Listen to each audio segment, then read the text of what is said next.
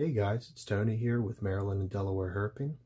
Probably wondering why I'm in my room, and that's because it is December in northeastern Maryland, and that is not good for herping. Uh, northern Delaware, southeastern PA, all the usual spots I try to hit, it's just too cold. So while you know these winter months are passing through, I'm trying to think like, hey, what could we do on this channel? And I said, you know, I've got several pet herps. Maybe I can introduce them on this channel and people that were looking to get into owning herps or maybe get into herping could have a good project to start on. And there's certain pets out there, especially ones that I own, that I think are good beginner pets. I mean, I consider myself probably an intermediate owner because I've been doing this for a few years, but I think that all the stuff I own could qualify as a beginner pet. Maybe some people disagree, but what we're going to try to do here in these videos, since we're appealing to beginners, is breaking stuff down into three categories. Every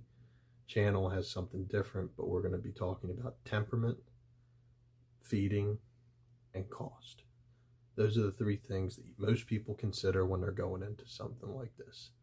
So, without wasting any more time, I want to introduce our pet that we're going to be going over this week, and this is my most recent purchase. This is Dennis. Where's your head, Dennis? Oh. He's a goofball. Now, Dennis is a western hognose snake. Now, you've probably seen in my other videos, I caught a eastern hognose snake not far from my house back in, I think it was September. And there's a picture right there. Yeah.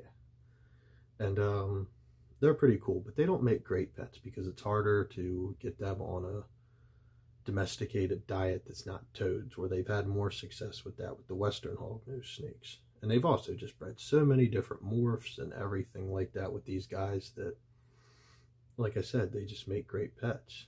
Um, this is a anaconda morph. You can see he's got that anaconda pattern down the back. Now, I got this one from Rick Krumrine Reptiles in Chambersburg, PA. I'll put a link to his uh, business Facebook page down in the description. He's an excellent breeder, and I highly recommend him. He's got that beautiful pattern on the belly, too. He's like, you're showing me off. I feel violated. but, uh, so let's break this down into our three categories. We'll start off with temperament.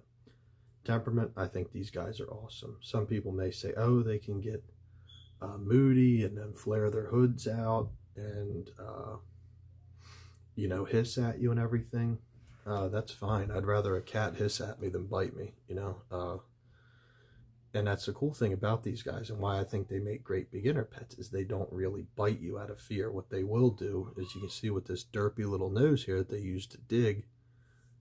Stop turning your head. You can kind of see it right there. Yep. They'll headbutt you with that. And that's a lot better than getting bit because if you have like a boa or a king snake, a lot of times when they're afraid, they will bite you. It's not all that extreme. Well, it depends on the size of the snake, but either way, you're not going to die. And you probably won't even have to get stitches or anything. But with these guys, they don't even do that, so you don't have to worry about it. Um,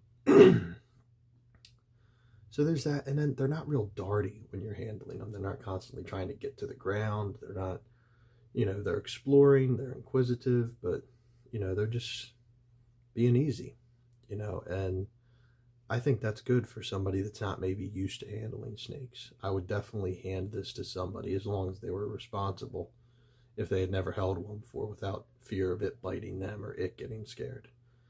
Probably wouldn't hand this to a toddler or a really small child out of safety for the snake because, you know, they're not real huge, so you don't want to squeeze them too hard. That could cause some serious damage to them.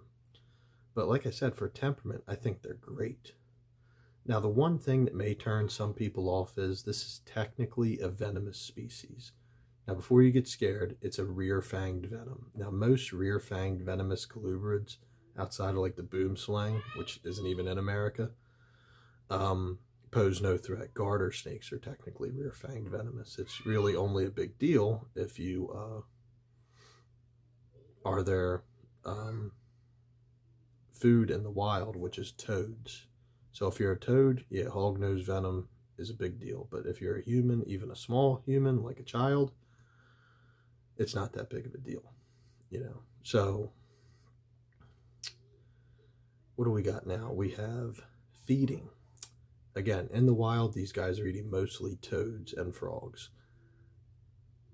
In captivity, most breeders have got them on a frozen thawed rodent diet. I give him about one hopper mouse, which is a very small mouse, every week, and he does fine with that. So when you're going to purchase one, just make sure you check with the breeder, whether it's at an expo or a pet store from just a private breeder in general. Say, hey, have you started him on frozen thawed rodents? If not, then maybe you need to consider somewhere else, or just see if maybe they're in the process of doing that. Maybe they haven't fed them yet because it's a new hatchling. But most breeders aren't going to sell you a snake unless they've actually got it fed a meal first. So, you know, you got that going for you. But other than that, like I said, I think they're great feeders. They have a pretty cool feeding response. It's not like other snakes. I know I said like king snakes, milk snakes, boas. They like to strike stuff and act like they're killing it. These guys literally will just come up to the dead rodent and just start swallowing it right there. It's kind of funny. It matches their goofy look. So that brings us to cost. That's our third category.